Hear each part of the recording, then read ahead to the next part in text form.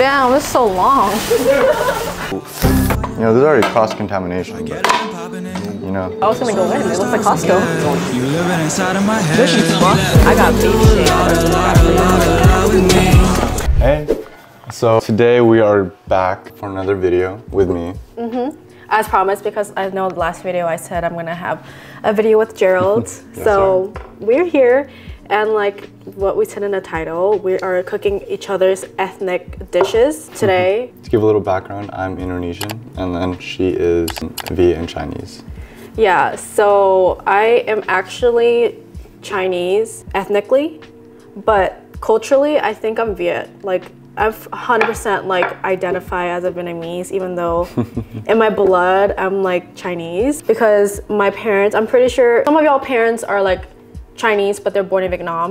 So they're they're raised in Vietnam, and then like they immigrated here and they had children. So that's me. Yo yo, so this is Gerald. So unfortunately our camera did have some malfunctioning and we don't have the rest of this clip, but what Wendy's trying to say is basically that both their parents are 100% Chinese that grew up in Vietnam and they raised her in the Viet culture. But without further ado, let's get into the bun bo hui and also the beef rendang cooking. But before that, come with us and go get our groceries with us. Hi everyone. So right now we are at OC Garden Grove. This is the Asian supermarket, and we're about to buy some stuff to make bom bo way.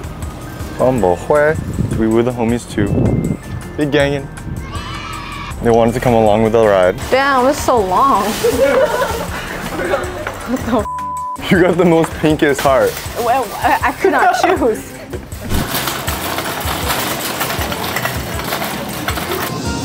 Is this lemongrass? Yeah, that's lemongrass. Guys, this is lemongrass. We need six stalks of lemongrass. One, two, three, four, five, six. Oh, perfect. Perfect. How do you know it's good? One in the inside. Jason knows. I know Jason knows. Yeah, that one's good. That was a good one. We need bones, beef bones, pork trotters, beef shank. So we're gonna get that. We need yellow onion. I think this is yellow. It it says yellow, my guy. What are you looking for now? I'm looking for some beef. Some beef? I got, I got beef shank. I don't know what that is. look alive, look up. Oh my gosh, it says hi. What's that? Oxtail, love it. What else we need? Shrimp face. Yo, yo. Oh shit. Oh. Jason, pick it up. Stop it. This is the Bombo Way thick rice vermicelli. So good. So good. So good. So good. What's going on? Uh,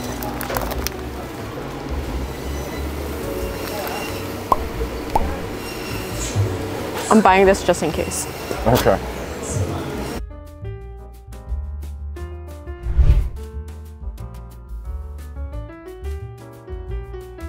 Gerald, can you look for some shrimp paste? Yeah, wait. Oh oh my god. Uh, I believe shrimp paste is here.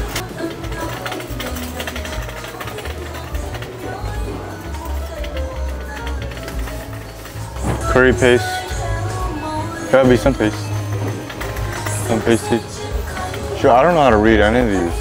Let me get Jason. We found shrimp paste, but there's like a million options here. I don't know what to get, guys. Which one is a good shrimp paste? Hey, yo. What's a good shrimp paste? Come with me, come with me. Uh, over there, over there, over there. Yeah, Oh, oh. Actually, that one. yeah. Okay, thank you. Salted shrimp paste. This one, guys. Word. This one is good. Okay, so what's next? Banana flour. You know where banana flour is? I don't know. Is it is it an actual flour? Like oh, it's an actual sorry. flour. I thought you were talking about like flour, like you know, oh, like. oh. Sorry. oh, it's called banana bloom something. If I open this, will there be a bananas? No. Just kidding, this is a flower. What, Have you you all seen a banana flower before? What's that? I don't know, it's really good. Oh, Ah, Jason said this one good. okay, yeah, it is good. What'd you get? I have no idea. This is what I ate my balut with though. It says do not enter. Wait, I was gonna go in. It looks like Costco. We're all bean good. sprout, bean sprout, Bean sprouts. Mm, right there. I love bean sprouts. It's my favorite. I can eat it all. Pretty cheap. What the? What the? Yo, coconuts! is wrong with him? Can we get coconuts? Shopping success. Hi, so I am at an Indonesian market. This very, very tiny grocery store here. This is the closest one that we live.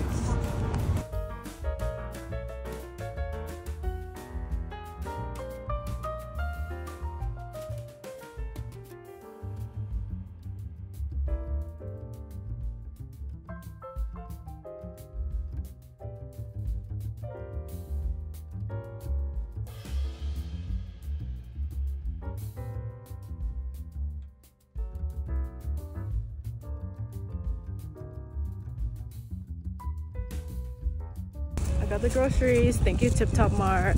I am so excited to cook beef rendang.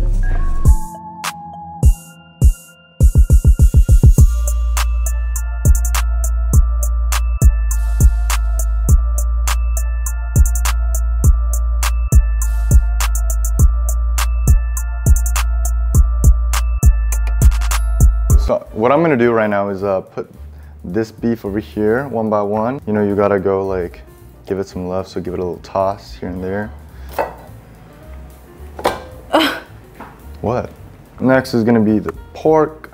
You know, there's already cross contamination, but you know, you gotta you gotta throw it in with love. Yes, I'm making bumbo hue, hue with my bumbo babe. So right over here we have our pork, and then we also have our beef, our beef shank with oxtail, whatever. Yeah, we're gonna let it cook for what, like five, ten minutes around there. Let it boil, let it, you know, release some goodness.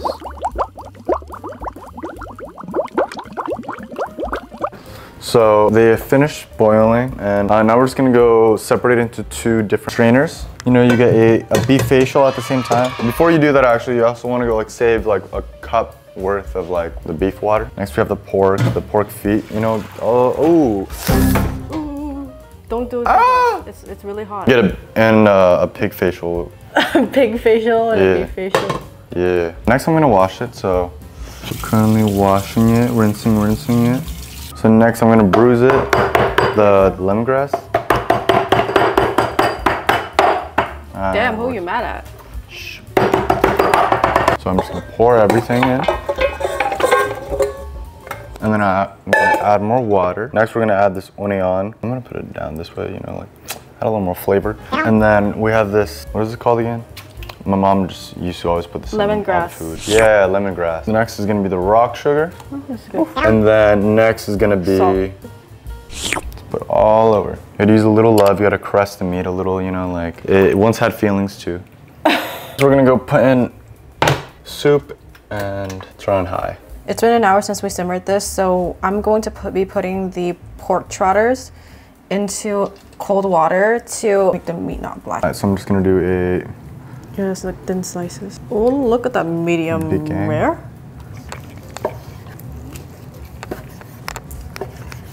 thin sliced layers. We are going to soak these noodles in water. They need to be soaked for 30 minutes and then boiled for another 30 minutes. yeah, what she said. We just added more water in this pot because like half the water decreased. We're gonna go put in the shrimp paste.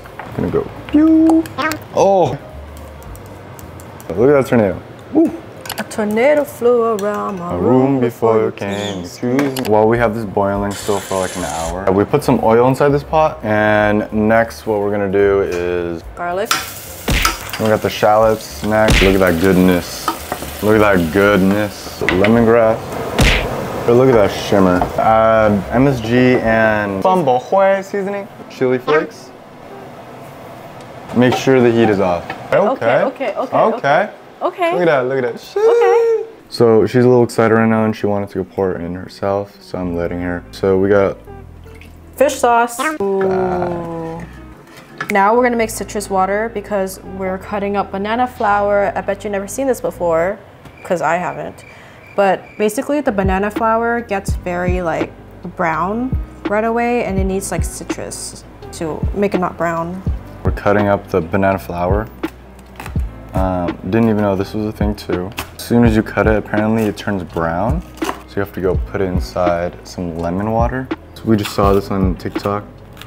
The shrimp paste. diluted with like hot water. It's been sitting for like three minutes. Then I'm just gonna pour it in. Oof. Yeah, we're just gonna dump all of our beef, shank. This is the final presentation. I wish you can see it. Okay, so first taste test of the bumbo hui. Cheers. Cheers.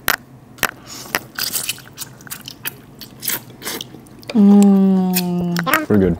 This right here. This is bussin'. How would you describe the taste? Flavorful. It's like some flavorful spicy beef. Spices in there, some little citrus. We have some lemongrass, so you can like taste some of the the aromatics. We have like some. Of This is so good. All right, so you try this now. Remember the taste. Mm-hmm. We're gonna make some beef rendang. Okay. Hi, so we just finished eating the bombo way, and now we are making Beef rendang. rendang, but I'm making it because he made the bombo way. Yeah. Beef rendang is an Indonesian curry. It's a spicy curry. So, and it's also like my favorite Indonesian dish. So I'm super excited to be making it.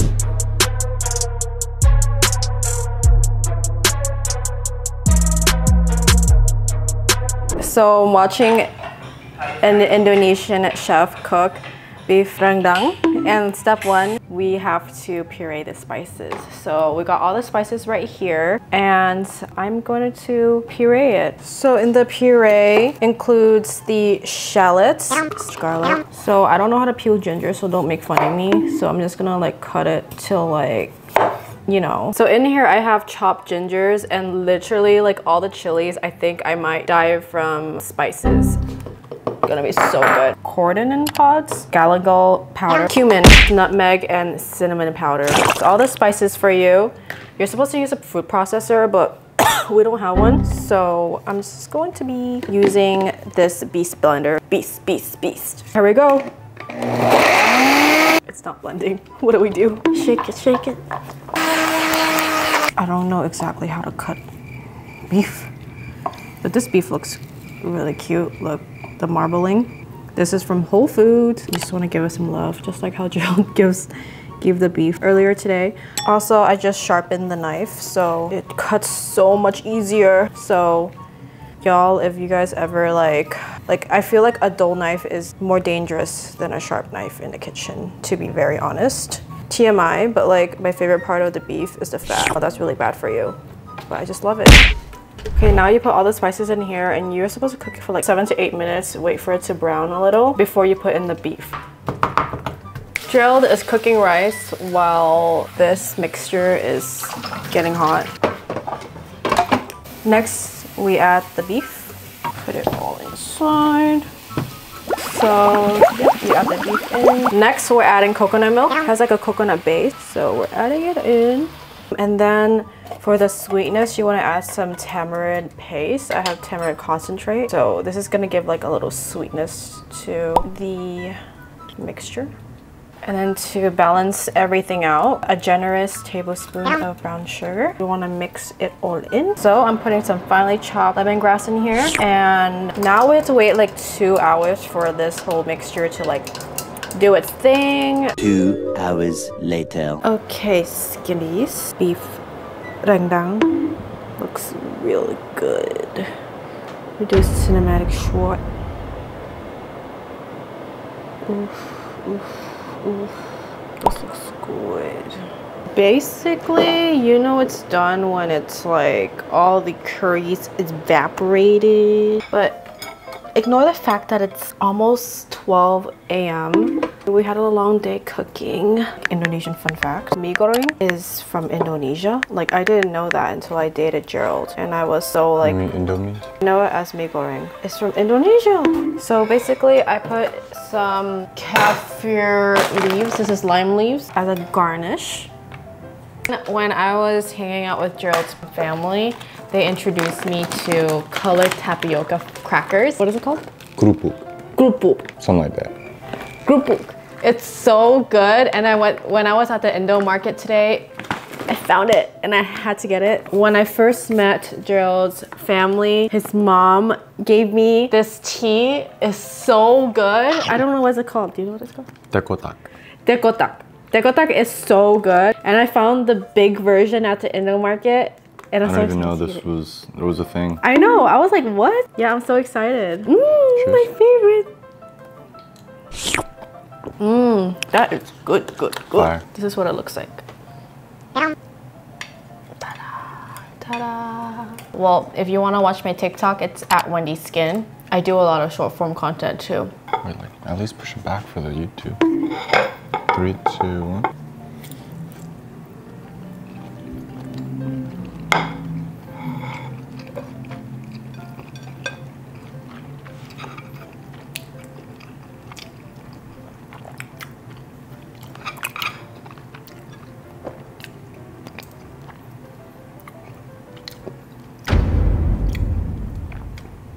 We gotta retry making this. It's like close, but like the far still. It's not as spicy. Next time. Not spicy at all. So, what is your final verdict, Gerald? The bumble hui was um a lot better. the bumblebee was authentic. This one uh, we're pretty far, and then like the flavors like not everywhere inside the beef.